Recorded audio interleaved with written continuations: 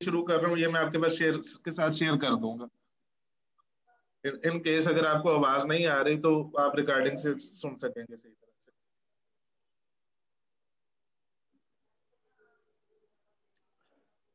हाँ जी lecture ten में जिसका क्वेश्चन था जी सर ये ठीक है। वो पूछ लें क्वेश्चन फ़र्स्ट से फ़र्स्ट से थोड़ा सा अपना बता दें पहली स्लाइड से।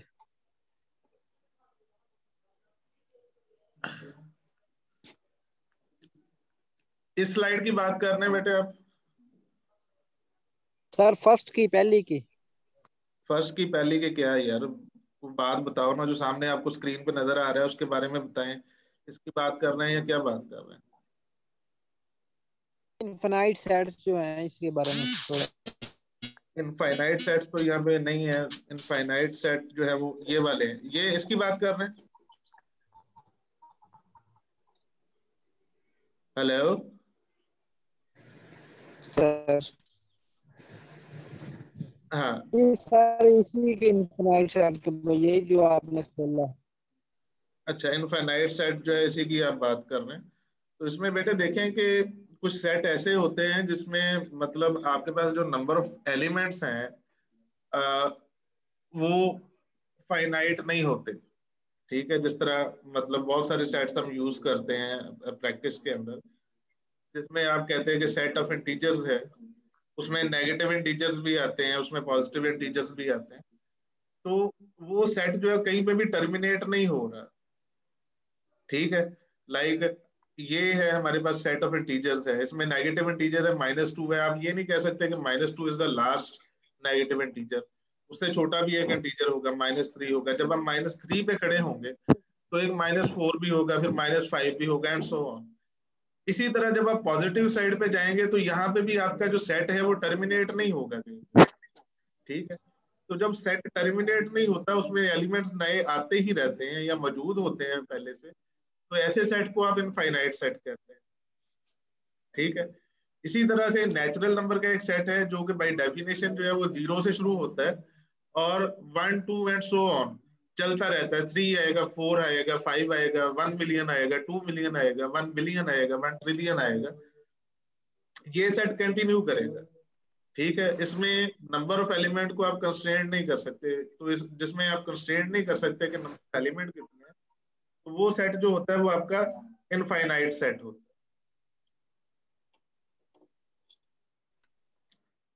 कुछ समझ आई है बेटा? सर सर आपसे बात करनी थी। जी जी बात करें। सर बच्चे कह रहे हैं कि जो है ना सिलेबस बहुत ज़्यादा है मिड का थोड़ा कम कर दें। मिड का बहुत ज़्यादा सिलेबस है? जी सर नहीं बेटा सिलेबस इतना ही रहेगा। बारह लेक्चर आपने को हो गए वो इतने ही रहेंगे। मेरे मुझसे अगर आप पूछे तो सिलेबस कम है। आपके कम अज कम लास्ट टाइम जिस क्लास का मैंने मिड लिया था वो अठारह लेक्चर में से था। सर ड्यूरेशन कम है ना टाइम का?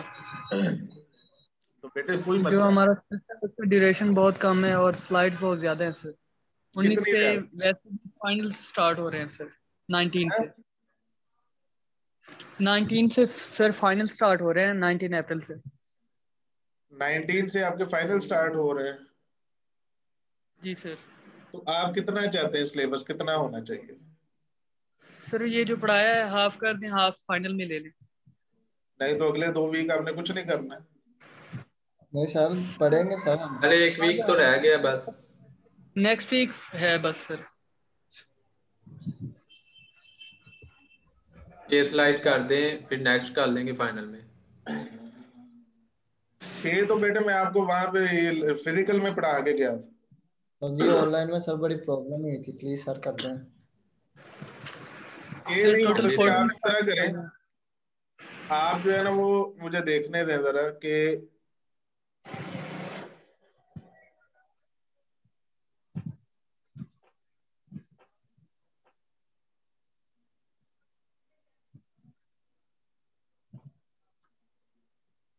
लेक्चर एट बल्कि नाइन तक आप कर लें। तीन लेक्चर में आपको छोड़ देता हूँ।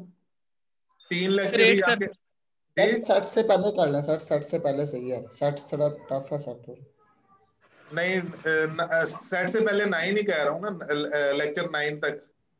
सर फाइनल नेक्स्ट वीक से स्टार्ट है मंडे से नेक्स्ट मंडे जो है।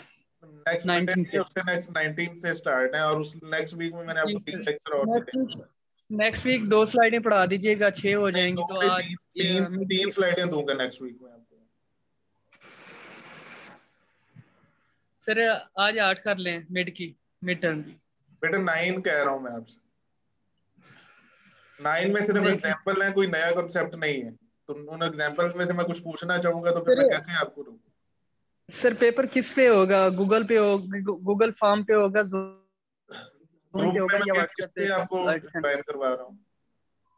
सर डिफरेंट कराए हैं? टीचर्स ने। किसी ने जूम पे कराया किसी ने गूगल फॉर्म पे कराया। है बेटा मैंने Google पे ज्यादा- आपको ज़्यादा ज्वाइन करवाया है कि नहीं करवाया? सॉरी सर एड मोडो पे आपने क्लास ज्वाइन की है?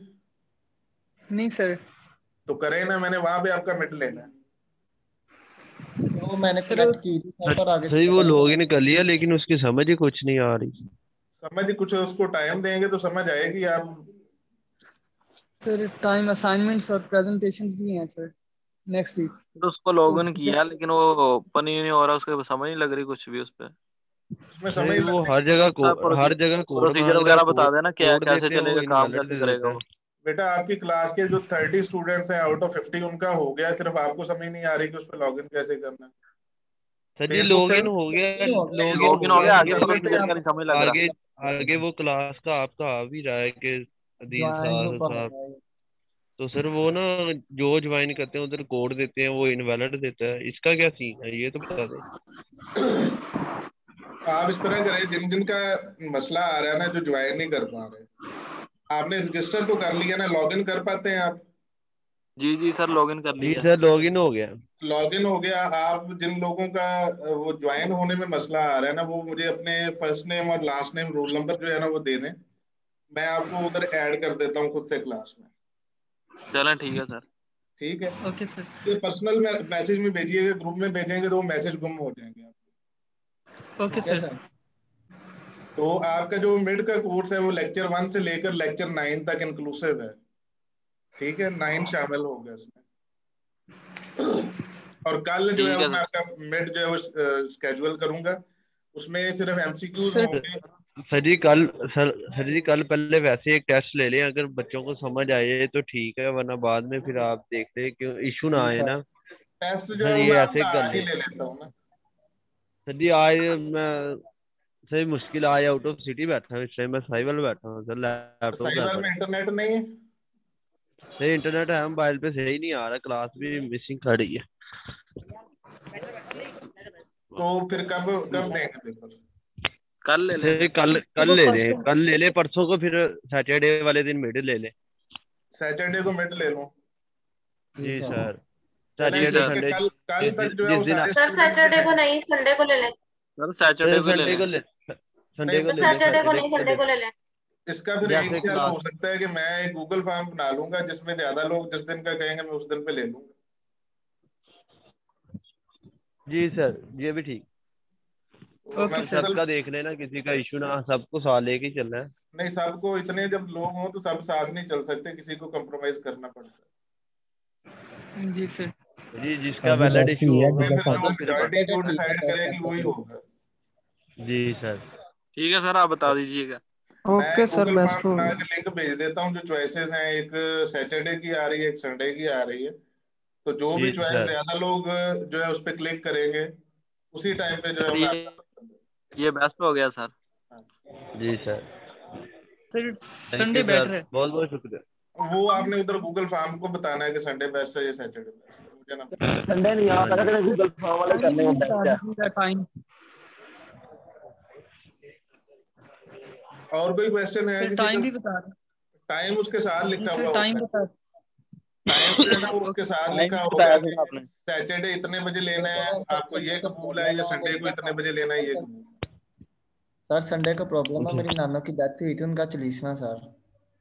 तो बेटे यार वो उधर बता देना ना ग्रुप ग्रुप ग्रुप में बता देना ना अपना चॉइस जो है वो आप उधर दे देंगे। तो सर जी कल ले लें सर जी। बेटा ये मसला इस तरह हल नहीं होगा ऑनलाइन आपने उधर ही अपनी जो हम्म। चॉइसेस हैं वो देनी है जो जहाँ पे ज़्यादा लोग डिसाइड करेंगे वही जी सर ये ठीक है। ठीक है? सही कह रहे हैं। इसके अलावा कोई क्वेश्चन जो है वो आपने पूछना है कोर्स में से तो वो पूछ लें नहीं तो मैं फिर मीटिंग जो है उसको खत्म कर सर लेक्चर नहीं, ट्वेल्व में से पूछना है। लेक्चर ट्वेल्व में से पूछें। Lecture slide number twenty four एक मिनट रुकिएगा मैं आ रहा हूँ वहाँ पे।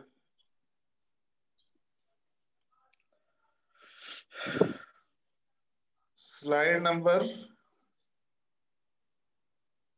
twenty four. जी ट्वेंटी फोर। तो ये समझ नहीं आ रही कैसे जावा में मैपिंग की हुई है। ये जावा में जावा आप लोगों ने पढ़ ली है?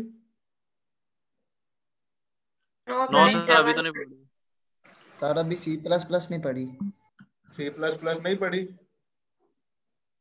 सर पढ़ रहे हैं लेकिन जावा नहीं पढ़ी। पढ़ रहे हैं सर एंड पे।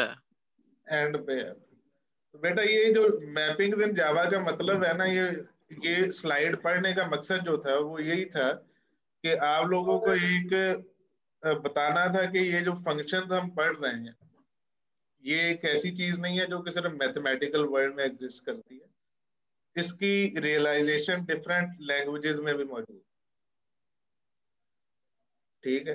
लाइक like, एक एग्जांपल हमने यहाँ पे जावा की दे दी कि जावा में जो है वो आपका डिस्क्रीट फ़ंक्शन जो है वो उसके लिए एक क्लास है जिसको आप मैप कहते हैं। ठीक है? और मैप में आप की वैल्यू पेयर्स दे देते हैं।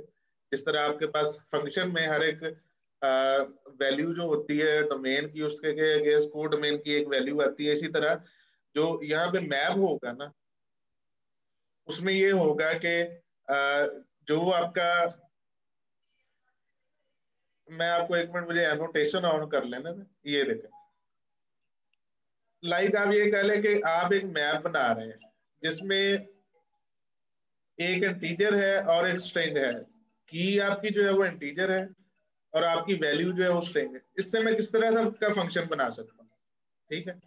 फॉर एग्ज़ाम्पल इससे मैं इस तरह का फ़ंक्शन बना सकता हूँ कि मेरे पास ये मेरी जो है वो डोमेन है और ये मेरी को डोमेन है इसमें डोमेन में मेरे पास इंटीजर वैल्यूज़ है लाइक मेरे पास है वन है मेरे पास टू है मेरे पास थ्री है मेरे पास इसी तरह करते करते हंड्रेड तक है और को डोमेन में मेरे पास जो है वो सिर्फ़ चार पाँच वैल्यूज़ हैं लाइक मेरे पास ए है मेरे पास बी है मेरे पास सी है उसके बाद डी है। ठीक है? अब ए बी सी डी जो है, ये फॉर एग्जांपल जो है, वो आपके ग्रेड्स को कॉरेस्पॉन्ड कर रहे हैं। वन टू थ्री से लेकर जो हंड्रेड तक इंटीजर हैं, ये आपके मार्क्स को किसी भी सब्जेक्ट के अंदर कॉरेस्पॉन्ड कर रहे हैं। तो इनकी मैं मैपिंग जो है, वो बना सकता हूँ। लाइक मैं कहता हूँ कि वन जो है, उसके ऊपर डी ग्रेड आएगा टू के ऊपर भी डी ग्रेड आएगा थ्री के ऊपर भी डी ग्रेड आएगा फोर्टी तक डी ग्रेड आना शुरू होगा। फोर्टी वन से आगे जो है, वो सी ग्रेड होगा। इसी तरह सिक्सटी से आगे जो है, वो बी ग्रेड होगा। तो इस तरह से जो मेरे फ़ंक्शंस है उनको अगर मैंने किसी लैंग्वेज के अंदर यूज़ करना है प्रोग्रामिंग लैंग्वेज के अंदर यूज़ करना है तो बहुत सारी प्रोग्रामिंग लैंग्वेजेस ऐसी हैं जहाँ पे आपको ये फैसिलिटी अवेलेबल है कि वहाँ पे आप अपने फ़ंक्शन जो है बना सकते क्लियर हुआ क्वेश्चन सही है Hello? समझ आ गई है। आ गई है बेटे समझ? जी सर आ गई समझ। ठीक है। सर ये कोडिंग फिर हमें याद रखनी पड़ेगी। नहीं बेटे मैं नहीं इससे आपसे पूछ रहा कुछ। ये सिर्फ़ मोटिवेशन होती है इस तरह की स्लाइड्स जो है वो मोटिवेशन होती है। उसका मतलब आपको ये बताना होता है कि जो आप मैथ पढ़ रहे हैं ये ऐसे कोई हवा में एग्जिस्ट नहीं कर रहा। ठीक है? इसकी रियलाइजेशन जो है वो डिफरेंट लैंग्वेजेस में भी है प्रोग्रामिंग में भी करना चाहे तो आप इन फ़ंक्शंस को यूज़ कर सकते हैं। जी थोड़ा सा हिंट ही दे दें। क्या hint? के रेफरेंस नेट में बेटा आपके पास एमसीक्यू क्वेश्चन है मैंने अभी बनाने हैं मुझे खुद नहीं पता कि क्या बनेंगे जितने थोड़े लेक्चर हैं उसमें से क्या बन सकेगा। सर फिर जब बना लेंगे सर इतने ज़्यादा लेक्चर है थोड़े जी? कहाँ से? सर वो बता दीजिएगा मैथमेटिकल आएँगे या फिर डेफिनेशन बेस पे आएँगे? मैथमेटिकल भी आएँगे। डेफिनेशन बेस पे भी आएँगे ठीक है सर। हाँ जी। सर इजी बनाइएगा। इजी। बनाएँगे सर जी टाइम थोड़ा सा ज़्यादा दे दीजिएगा आपकी ये बस मेहरबानी है। टाइम आपके पास जितने एमसीक्यू होंगे उससे तकरीबन कह लें कि डबल होगा। उतने लाइक Okay. अठारह अगर एमसीक्यू मैं सोच रहा हूँ तो मैं आपको चालीस मिनट दूँ। सर नहीं वो अठारह एमसीक्यू उसके सारे एक घंटा देते हैं सारे। सारे टीचर्स ने एक घंटा दिया नो भी अठारह कम होता कोई भी कोई भी एक घंटा नहीं देता। जी सारे कोई नहीं सर एक घंटा ही दे देंगे यार। नहीं देंगे। सर ये प्रैक्टिकल है सर इसका प्रैक्टिकल तो फिर इसका सर सारे टीचर्स ने एक क्या घंटा है दिया सर सारे टीचर्स ने एक एक घंटा दिया पूछने नहीं बेटा चालीस मिनट बहुत ज़्यादा है। आप सर अगर मैथमेटिकली होंगे तो वो पहले परफॉर्म करके देखने पड़ेंगे। उस पर टाइम ज़्यादा लगेगा। सर जी टाइम भी एक घंटा करते हैं। नहीं मैं खुद ही डिसाइड करूँगा इस पे बहस नहीं। उसके अलावा कोई क्वेश्चन है तो थोड़ी सी सर मैथमेटिकल एमसीक्यूज हुए तो उसके लिए टाइम चाहिए। अपनी मर्ज़ी से कर लीजिएगा। मैनेज सर जी आप जैसे मैनेज करें। ठीक है लेकिन आपने एक घंटे के लिए चले बेटा ठीक है इसके अलावा कोई क्वेश्चन है आपका? सर लेक्चर नाइन में है। एक मिनट में लेक्चर नाइन खोलता हूँ।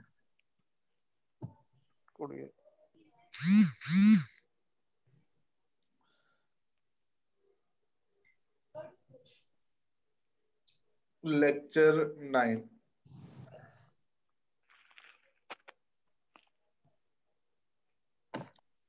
जी स्लाइड नंबर बताएँ बेटे लेक्चर नाइन फोर्टीन फोर्टीन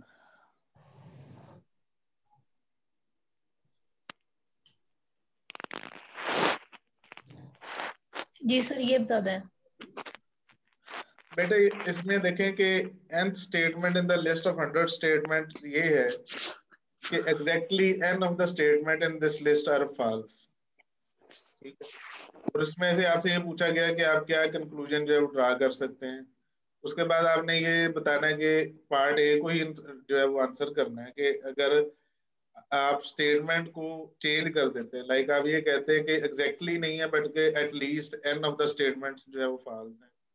इसी तरह आपने पार्ट बी को आंसर करना है अगर आपके पास 99 स्टेटमेंट तो इसको नेक्स्ट स्लाइड में मैंने एक्सप्लेन किया होगा प्रोबेबली सबसे पहले तो हमने ये देखना है कि स्टेटमेंट्स हैं क्या। तो एज पर क्वेश्चन जो हमारे पास स्टेटमेंट है, वो ये है कि पहली स्टेटमेंट ये कह रही है कि exactly one of the statement जो है वो फॉल्स है। दूसरी ये कह रही है कि दो स्टेटमेंट फॉल्स हैं। दरमियान में कोई आई स्टेटमेंट होगी, वो ये कह रही है कि आई स्टेटमेंट जो है वो फॉल्स है। और लास्ट स्टेटमेंट ये कह रही है कि hundred statements in this list are false तो इस, इन से जो लिस्ट कौन सी है, ये सारी स्टेटमेंट्स जो है, ये लिस्ट है। यहाँ तक क्लियर हुआ आपको? प्रॉब्लम की जो अंडरस्टैंडिंग है, अभी हमने इसको सॉल्व करना नहीं शुरू किया। इसको समझना नहीं शुरू किया, लेकिन पहले आप ये देखें कि जो प्रॉब्लम है, वो आपको समझ में आ गया। हेलो? जी सर। प्रॉब्लम समझ में आ गया कि आपको ये लिस्ट जो है ये क्या कह रहे हैं? अच्छा मैं आपको जो है ना वो एक मशवरा दूँगा कि इस प्रॉब्लम को समझने के लिए इसका साइज़ कम कर दें। लाइक like, सौ की जगह पे आप चार स्टेटमेंट्स ले लें। ठीक है पी वन से लेकर पी फोर तक। तो उसमें पी वन क्या कह रही होगी कि exactly one statement in this list is false two क्या कह रही होगी कि टू स्टेटमेंट फॉल्स हैं. थ्री क्या कह रही होगी? थ्री स्टेटमेंट फॉल्स हैं. फोर ये कह रही होगी कि फोर स्टेटमेंट फॉल्स हैं. तो उसमें होगा क्या? आप ये देख सकते हैं कि इनमें से हर एक जो स्टेटमेंट है पी वन और पी टू को अगर देखें तो ये दोनों इकट्ठी ट्रू नहीं हो सकती।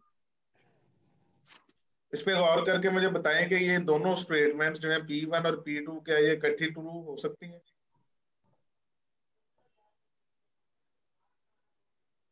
नो सर इसी तरह कोई भी दो स्टेटमेंट्स जो है, वो इकट्ठी ट्रू नहीं हो सकती। ठीक है? इसके ऊपर थोड़ा गौर कीजिएगा जब ये चीज़ हमने डिसाइड कर ली कि कोई भी दो स्टेटमेंट्स जो है, वो इकट्ठी ट्रू नहीं हो सकती तो इसका मतलब ये है कि आपके पास सिर्फ़ एक स्टेटमेंट जो है, वो ट्रू है। ठीक है? तो आपने वो स्टेटमेंट ढूंढनी है कि कौन सी स्टेटमेंट जो है वो ट्रू ठीक है।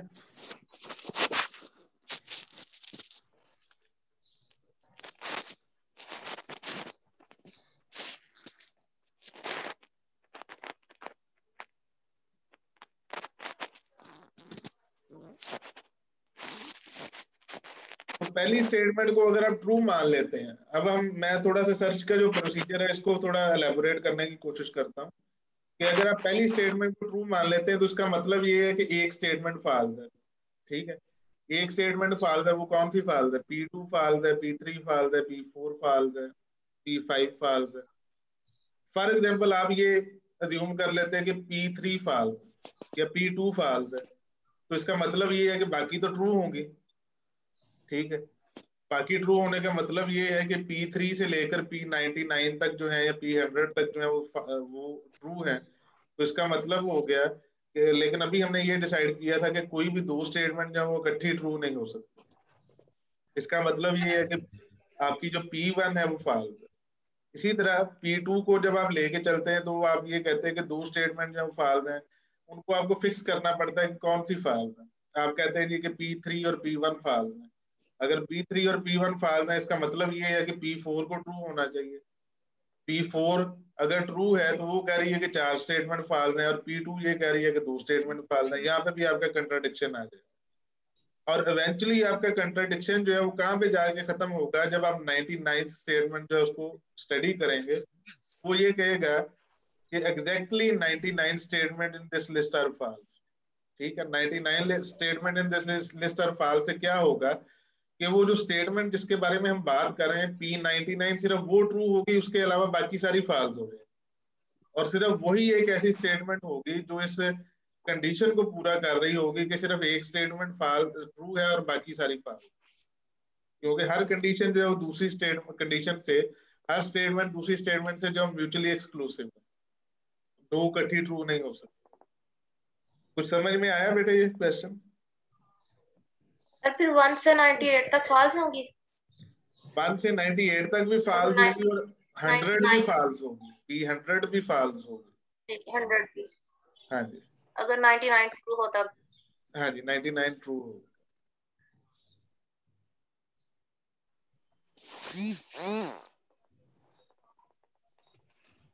चले बेटा ये मैं सेशन एंड कर रहा हूँ। अनलेस के अगर आपके पास कोई सवाल है और जी वो आपको मैसेज कर दिया वो रोल नंबर वो ग्रुप में ज्वाइन कर लीजिएगा। वो मैं बाद में देखूँगा अभी मैं क्लासेस को देख रहा हूँ और आपके जो क्वेश्चन है उनको देख सर मेरा एक क्वेश्चन है। जी बताएँ। सर फोर्टीन स्लाइड जो आपने असाइनमेंट के लिए दी थी इसमें क्वेश्चन नंबर इलेवन की समझ नहीं आई। बेटे असाइनमेंट को अभी जो है वो आ, मैं नहीं देख रहा। उसको बाद में देखेंगे मिड ले लें। उसके बाद में जी ठीक है सर ओके सर। ठीक है बेटे अल्लाह हाफिज। अल्लाह हाफिज सर। अल्लाह ओके सर। अल्लाह हाफिज। ओके सर अल्लाह हाफिज।